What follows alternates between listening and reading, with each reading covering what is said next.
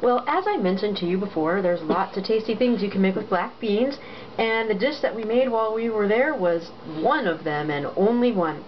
Tonight, Phil is going to show us how to make another tasty dish with black beans and medium spicy salsa, although you can choose the heat level of salsa to your choice.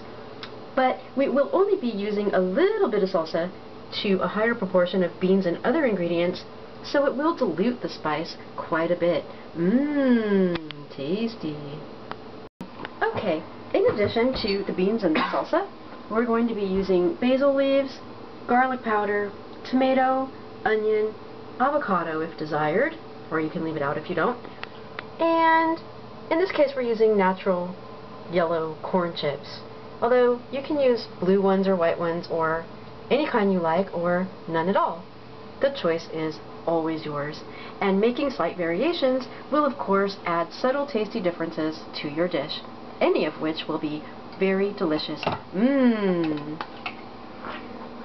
So Phil is going to start by placing the beans in the pan and he is going to be making enough for two servings because he and I are the only ones who will be eating this tonight and neither one of us need more than one serving because we just cannot eat that much at one time.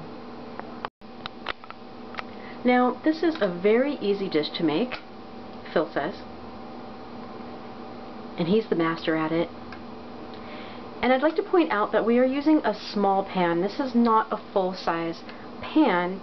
And the reason that might be important for you to know is because if you're using a full-size pan and you fill it with beans to look like the amount that these beans are filling this pan, you will probably end up with far too many beans.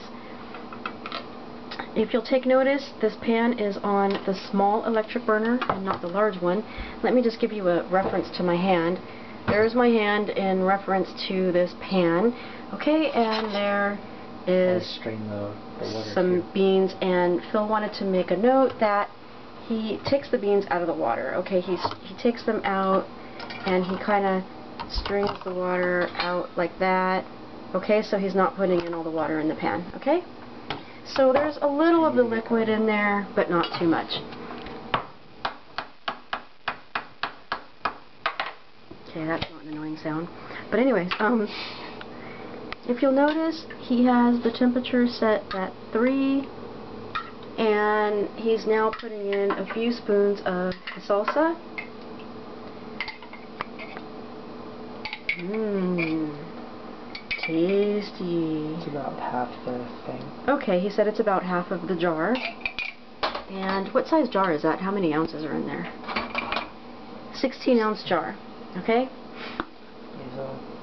So he's sprinkling in some basil now. Mmm, tasty. And while that's going, I'm going to get this ready. Okay, so if you didn't hear him, which you may or may not have because he's speaking lower than I am and I'm speaking more loudly, um, he said that he's just going to let that heat up on a slow temperature. It's at number three while he starts getting the vegetables ready. So right now he's preparing to cut the tomato and then he'll cut some onion and some avocado. So we'll be back in a sec. Oh yes, always wash your tomato first. In this case, Phil is cutting the whole tomato so because he's making this dish for two people, we in essence will be getting a half of a tomato each. And if you did notice, it was not a huge tomato, like the size they used to have in the stores, um, but it's also not a very small tomato either. It's perhaps in the Goldilocks zone.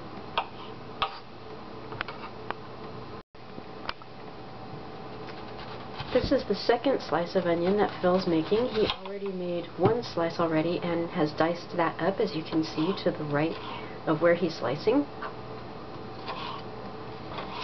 Will this be the final amount of onion that you are chopping for this evening's dish? It is. Okay, it is. This will be the final amount. Of course, you can adjust the amount of onion as per your taste, because some people like mucho cebolla, and other people don't like as much. Hmm, he's decided to add just a little more. And as you can see, he is separating the two piles of onion away from each other. He's going to be adding one pile to each bowl. He'll probably do the same thing with the tomatoes too. Yes? Yes, he just hasn't gotten to it yet. Ah, but there he goes. divvying up the little piles as we speak. Yum.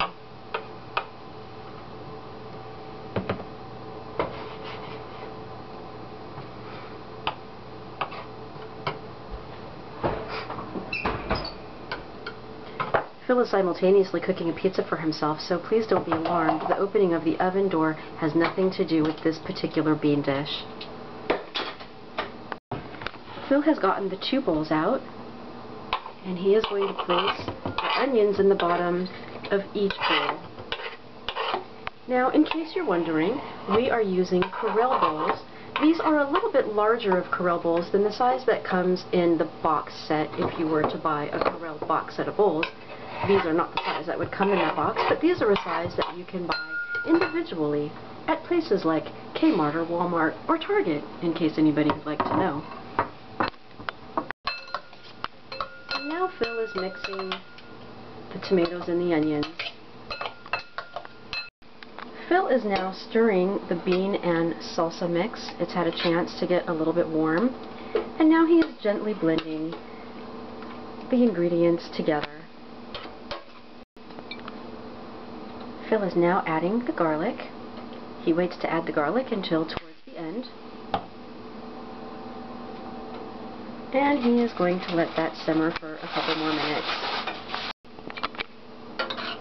Now that the beans have been left to warm up a little bit more, Phil is now going to stir it again, folding in evenly the garlic powder that he had so recently sprinkled upon the top.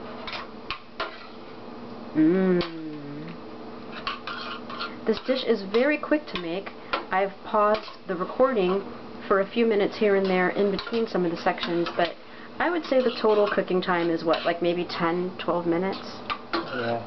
Yeah, yeah, 10 or 12 minutes probably, okay? And it's a very tasty and filling dish, and it's very heart smart and good for your arteries too. Yum. It's been a couple of minutes since Phil last stirred. He says you want this to get nice and warm, but you don't want it super hot, so he tries to end the warming process just before it would come to the point of starting to bubble. Now he's going to serve the bowls. So he puts this right on top of the tomatoes and the onions.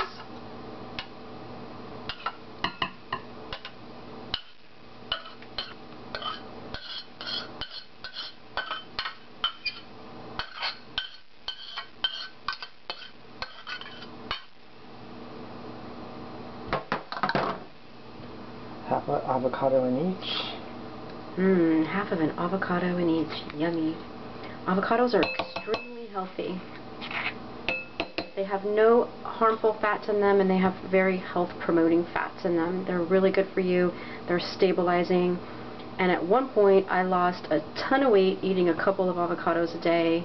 And well of course I ate a lot of other healthy things too and I didn't eat anything bad. So like sum total I lost a lot of weight because of all of that.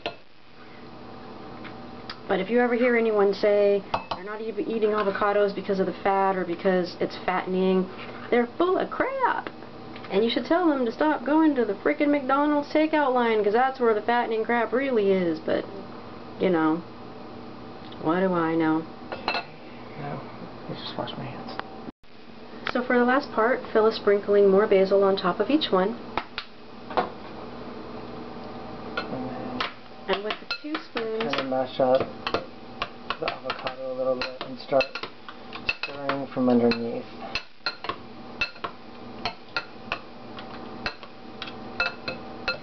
And when this is done, you can either take some of those nice crunchy corn chips and you can break them into smaller pieces and let them rest on top. I wouldn't mix them in because then they'll get gushy, but if you let them rest on top, you can spoon straight down through them to get the goodies underneath and have a nice combination of them together. Or you can use the full corn chip and just spoon a little of this onto each larger size corn chip and stick them into your mouth. Mmm, it's fabulous either way.